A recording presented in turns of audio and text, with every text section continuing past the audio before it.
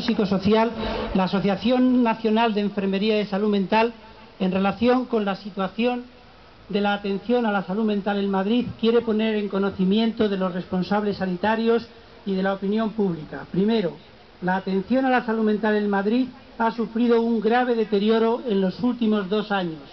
Segundo, el desarrollo del Plan de Salud Mental 2003-2008 y la implantación de modelos de gestión ligados a la puesta en marcha de los nuevos hospitales están en la base del deterioro del modelo de atención comunitaria considerado por la Estrategia de Salud Mental aprobada por el Consejo Interterritorial del Sistema Nacional de Salud en diciembre de 2006 como el sistema más eficaz para la atención en salud mental.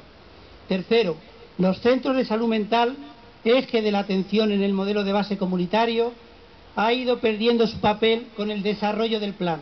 Se han creado consultas ambulatorias al margen de los TSM y se han potenciado las consultas externas de los hospitales. Como ejemplo, exponemos los siguientes casos. Se ha cerrado el Centro de Salud Mental de Valdemoro y se han convertido en consultas externas hospitalarias. Se ha clausurado de la noche a la mañana el Centro de Salud Mental de Carabanchel, dispersándose sus profesionales y obligando a miles de pacientes a cambiar de profesional y de centro.